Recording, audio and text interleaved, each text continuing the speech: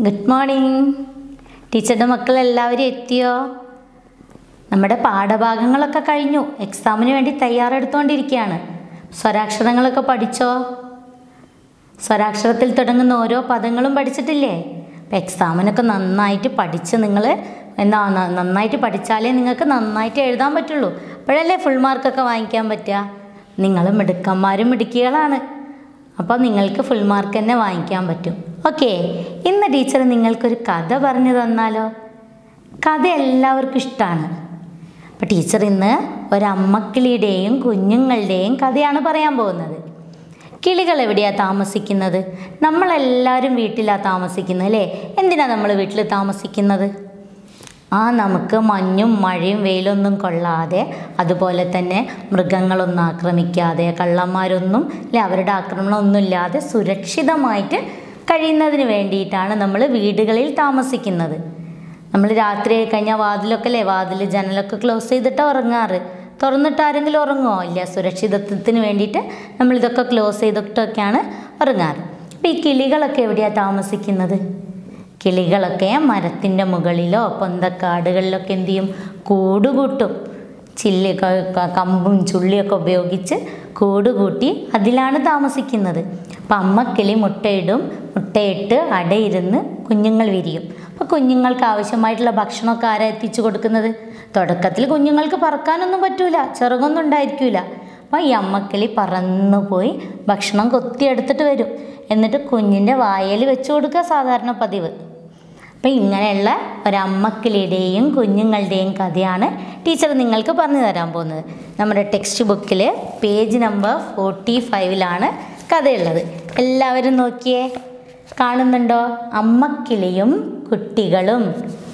എന്താണ് നമ്മുടെ കഥയുടെ പേര്? അമ്മക്കിളിയും കുട്ടികളും. അമ്മക്കിളിയും കുട്ടികളും. ഇവിടെ എഴുതിയിരിക്കുന്നത് എന്താ? കഥ. എന്താ എഴുതിയിരിക്കുന്നത്? കഥ. അപ്പോൾ ഇവിടെ അമ്മക്കിളിയെ കണ്ടോ നിങ്ങൾ? അമ്മക്കിളിയെ കണ്ടുല്ലേ? താഴെ കൂടുണ്ടാക്കിയിട്ട് അതിൽ ആരുണ്ട്? കുഞ്ഞിക്കിളികളുണ്ട്. കണ്ടോ അമ്മക്കിളി വരുന്നുണ്ടോ നോക്കിയിരിക്കുന്ന കുഞ്ഞിക്കിളികളെ കണ്ടോ? അപ്പം ഇതെവിടെയാണ് കൂടുണ്ടാക്കിയിരിക്കുന്നത്? ഒരു വയലിലാണ് അല്ലേ? വയലിലാണ് കൂടുണ്ടാക്കിയിരിക്കുന്നത്. അപ്പം നമുക്ക് കഥയൊന്ന് നോക്കിയാലോ? കഥ കേൾക്കാൻ ടീച്ചറിന്റെ മക്കൾ ശ്രദ്ധിച്ചിരിക്കാം. ഒരിക്കൽ ഒരിടത്ത് ഒരമ്മക്കിളിയും നാല് കുട്ടികളും ഉണ്ടായിരുന്നു. അപ്പം എത്ര കുട്ടികളാണ് കൂട്ടിനകത്തുള്ളത്?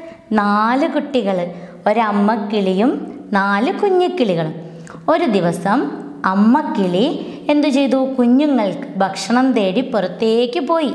അപ്പോൾ ഈ കിളിക്കൂടെ എവിടെയാണുള്ളത്? വയലിലാണ്. വയലിൽ എന്ത് എന്തുണ്ട്? ആ വിളിയൊക്കെ പാകമായി നിൽക്കുകയാണ്. അപ്പോൾ ഈ സമയത്ത് കർഷകൻ അങ്ങോട്ട് വന്നു. കർഷകൻ വന്നിട്ട് തന്റെ സുഹൃത്തു ഒത്തിട്ടാണ് വന്നത്. കർഷകൻ സുഹൃത്തിനോട് പറഞ്ഞു നാളെ നീ വിള കൊയ്യണമെന്ന്. നാളെ വിള കൊയ്യണമെന്ന് പറഞ്ഞു. അപ്പം അമ്മക്കിളി വന്നപ്പോൾ കുഞ്ഞുക്കിളികൾ എന്ത് ചെയ്തു? അമ്മക്കിളിയോട് കാര്യം പറഞ്ഞു. നാളെ വിള കൊയ്യാൻ വേണ്ടിയിട്ട് കർഷകൻ പറഞ്ഞിട്ടുണ്ട്. അപ്പം നാളെ വിള കൊയ്യുന്നു. അത് കേട്ട് അമ്മക്കിളി എന്താ പറഞ്ഞത്? കുട്ടികളെ നിങ്ങൾ പേടിക്കണ്ട. നാളെ ആരും വിള കൊയ്യൂലാന്ന്. കൊയ്യാൻ വരില്ല എന്ന് പറഞ്ഞു. അപ്പം അമ്മക്കിളിക്ക് നല്ല ധൈര്യമുണ്ട് അല്ലേ നാളെ ആരും വിള കൊയ്യാൻ വരില്ല എന്ന് പറഞ്ഞു. അതുപോലെ തന്നെ പിറ്റേ ദിവസം ആരും അവിടേക്ക് വിള കൊയ്യാൻ വന്നിട്ടില്ല. അത് കഴിഞ്ഞ് പിറ്റേന്ന് കർഷകൻ തന്റെ മകനോട് പറഞ്ഞു നാളെ വിള കൊയ്യണമെന്ന്. അപ്പം ഇതും ആര് കേൾക്കും? ആ ഇതു കുഞ്ഞിക്കിളികൾ കേട്ട് അമ്മയോട് പറഞ്ഞു നാളെ വിള കൊയ്യാൻ വരുമെന്ന് അപ്പോഴും അമ്മക്കിളി എന്താണ് പറഞ്ഞത്? നാളെയും ആരും വിള കൊയ്യാൻ വരില്ല. പിറ്റേന്നും അമ്മക്കിളി പറഞ്ഞതുപോലെ വിള കൊയ്യാൻ ആരും വന്നില്ല. അപ്പം രണ്ട് ദിവസമായില്ലേ ആദ്യത്തെ ദിവസം സുഹൃത്തിനോട് പറഞ്ഞു കർഷകൻ എന്താണ് നാളെ വിള കൊയ്യണമെന്ന്? അപ്പോൾ ഇത് കേട്ട് കുഞ്ഞുങ്ങൾ കേട്ട് അമ്മക്കിളിയോട് പറഞ്ഞപ്പോൾ അമ്മക്കിളി എന്ത് പറഞ്ഞു? നാളെ ആരും വിള കൊയ്യാൻ വരില്ല എന്ന്. അപ്പം അതുപോലെ ആരും വിള കൊയ്യാൻ വന്നില്ല.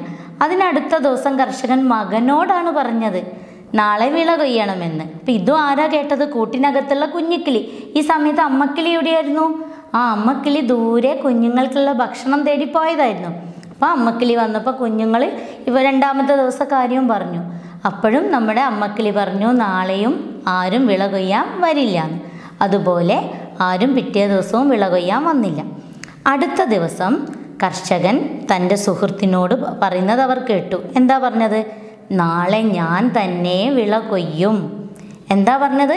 നാളെ ഞാൻ തന്നെ വിള കൊയ്യും അതിന് മുമ്പത്തെ ദിവസം സുഹൃത്തിനോട് വിള കൊയ്യാൻ പറഞ്ഞു. അത് കഴിഞ്ഞിട്ട് പിറ്റേ ദിവസം മകനോട് വിള കൊയ്യാൻ പറഞ്ഞു.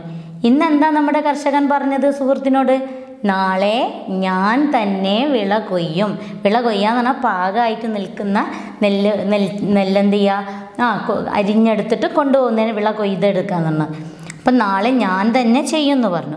ഇത് കേട്ട അമ്മ കിളി കുഞ്ഞുങ്ങളോട് പറഞ്ഞു എന്താ പറഞ്ഞത്? ഇനി നമ്മൾ പേടിക്കണം. നാളെ കർഷകൻ വിള കൊയ്യും ഉറപ്പാണ്. അപ്പം അമ്മക്കിളിക്ക് കാര്യം മനസ്സിലായി. നാളെ എന്തായാലും വിള കൊയ്യുന്നു. നമ്മൾ മറ്റൊരിടം കണ്ടെത്തിയേ തീരൂ. അമ്മക്കിളി കുഞ്ഞുങ്ങളെയും കൊണ്ട് അവിടെ നിന്നും പറന്നുപോയി. അപ്പം എന്തുകൊണ്ടായിരിക്കും അമ്മക്കിളിക്ക് നാളെ എന്തായാലും വിള കൊയ്യുന്നു തോന്നിയത്? എന്തായിരിക്കും? ആദ്യത്തെ ദിവസം അദ്ദേഹം സുഹൃത്തിനെയാണ് ഏൽപ്പിച്ചത്. കർഷകൻ സുഹൃത്തിനെ ഏൽപ്പിച്ചു. സുഹൃത്തിന് എന്തോ ബുദ്ധിമുട്ടുണ്ടായിട്ട് വിള കൊയ്തിട്ടുണ്ടാവില്ല. രണ്ടാമത്തെ ദിവസമോ മകനെയാണ് ഏൽപ്പിച്ചത്. കർഷകനാണോ ചെയ്യാൻ പോയത് അല്ല മകനെ ഏൽപ്പിച്ചു. അപ്പം മകനും ചെയ്തില്ല. മൂന്നാമത്തെ ദിവസം ആര് ചെയ്യുമെന്നാണ് പറഞ്ഞത്? കർഷകൻ തന്നെ ചെയ്യുമെന്നാണ് പറഞ്ഞത് അല്ലേ ഞാൻ തന്നെ വിള കൊയ്യുന്നു. അപ്പം അമ്മയ്ക്ക് ഉറപ്പായി അമ്മക്കിളിക്ക് ഉറപ്പായി എന്ത്? നാളെ തീർച്ചയായിട്ടും വിള കൊയ്യുന്നു. അപ്പം ഇതിൽ നിന്നും മക്കൾക്ക് എന്താ മനസ്സിലായത്?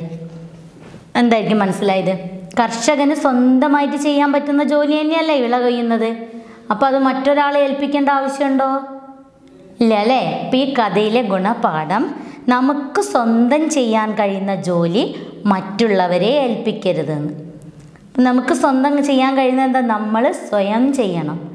ശരിയായിട്ടുള്ള അതിനുള്ള ഫലം കിട്ടണമെങ്കിൽ നമുക്ക് ചെയ്യാൻ പറ്റുന്ന കാര്യങ്ങൾ നമ്മൾ സ്വന്തമായിട്ട് ചെയ്യണം. അപ്പം നിങ്ങളൊക്കെ ചിലപ്പോൾ മടിയൊക്കെ തോന്നുമ്പോൾ എഴുതാനൊക്കെ കുറേ വരുമ്പം അമ്മയോട് ചോദിക്കില്ലേ ഒന്ന് എഴുതി തരുമോന്നില്ലെങ്കിൽ ചേച്ചിയോ ചേട്ടനൊക്കെ ഉണ്ടെങ്കിൽ ചോദിക്കും ഒന്ന് സഹായിക്കുമോ എഴുതി തരുമോന്ന് അങ്ങനെ ചെയ്യാൻ പറ്റുമോ അപ്പോൾ ആരാ നിങ്ങൾക്ക് പഠിക്കാൻ പറ്റുമോ? അമ്മ നിങ്ങളുടെ നോട്ട്ബുക്കിൽ എഴുതിയാൽ ഇല്ല നിങ്ങൾ സ്വന്തമായിട്ട് ചെയ്യണം. അപ്പം നിങ്ങൾക്ക് അതിന്റെ എന്ത് ചെയ്യും? ആ ഫലം കിട്ടും. നിങ്ങൾക്ക് എഴുത്തും എഴുതാനും അതുപോലെ അക്ഷരങ്ങൾ മനസ്സിലാക്കാനൊക്കെ പറ്റും. കഥ എല്ലാവർക്കും ഇഷ്ടമായോ നല്ല കഥയാണ് അല്ലേ? അപ്പോൾ കഥയിൽ നിന്ന് നമുക്ക് മനസ്സിലായ ഗുണപാഠം എന്താണ്? സ്വന്തമായിട്ട് ചെയ്യാൻ പറ്റുന്ന കാര്യങ്ങൾ മറ്റുള്ളവരെ ഏൽപ്പിക്കരുത് അപ്പം നമുക്ക് അത്രയും സാധിക്കാത്ത കാര്യം ഉണ്ടെങ്കിൽ മാത്രമേ നമ്മൾ എന്ത് ചെയ്യാൻ പറ്റുള്ളൂ? മറ്റുള്ളവരുടെ സഹായം തേടാൻ പറ്റുള്ളൂ. അല്ലാതെ എല്ലാ കാര്യത്തിനും മറ്റുള്ളവരെ ആശ്രയിച്ചുകൊണ്ടിരുന്ന എന്താ? നമ്മുടെ ഒരു ജോലിയും മുന്നോട്ട് പോവില്ല.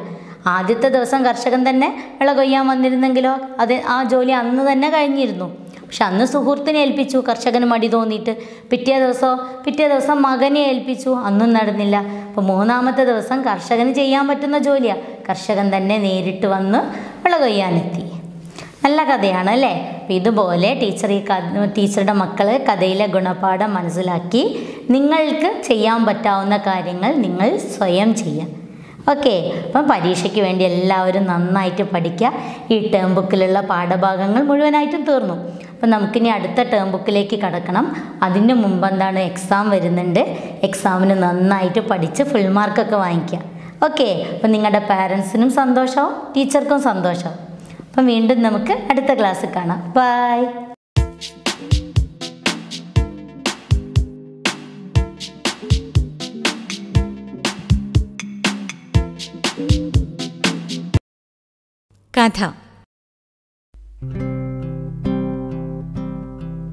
അമ്മക്കിളിയും കുട്ടികളും.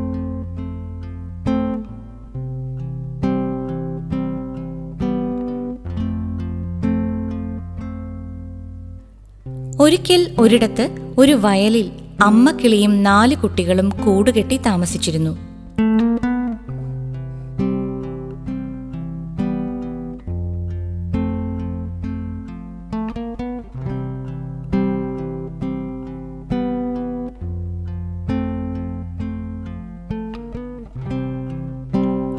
ഒരു ദിവസം അമ്മ കിളി ഭക്ഷണം തേടി പുറത്തു പോയപ്പോൾ കർഷകൻ തന്റെ സുഹൃത്തിനോട് നാളെ വിള കൊയ്യണമെന്ന് പറയുന്നത് കേട്ടു.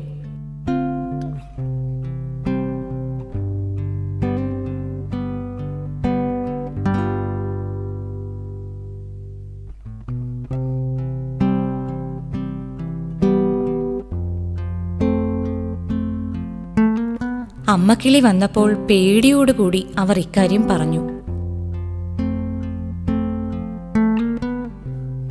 ഇത് കേട്ട് അമ്മക്കിളി പറഞ്ഞു കുട്ടികളെ നിങ്ങൾ പേടിക്കേണ്ട. നാളെ ആരും വിള കൊയ്യാൻ വരില്ല. അമ്മക്കിളി പറഞ്ഞതുപോലെ അടുത്ത ദിവസം ആരും വിള കൊയ്യാൻ വന്നില്ല. പിറ്റേന്ന് കർഷകൻ മകനോട് നാളെ വിള കൊയ്യണമെന്ന് പറയുന്നത് കിളികൾ കേട്ടു.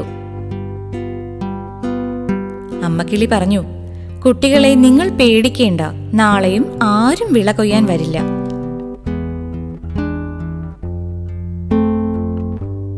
പിറ്റേന്നും അമ്മക്കിളി പറഞ്ഞതുപോലെ വിള കൊയ്യാൻ ആരും വന്നില്ല.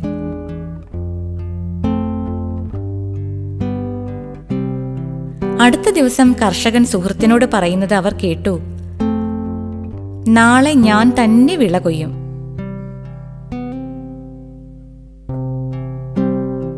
ഇത് കേട്ട അമ്മക്കിളി കുട്ടികളോട് പറഞ്ഞു ഇനി നമ്മൾ പേടിക്കണം.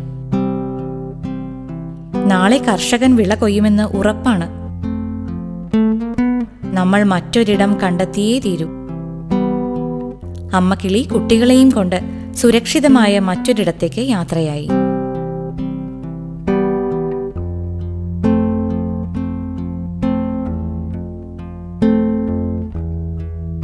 ഗുണപാഠം. നമുക്ക് സ്വന്തം ചെയ്യാൻ കഴിയുന്ന ജോലി മറ്റുള്ളവരെ ഏൽപ്പിക്കരുത്.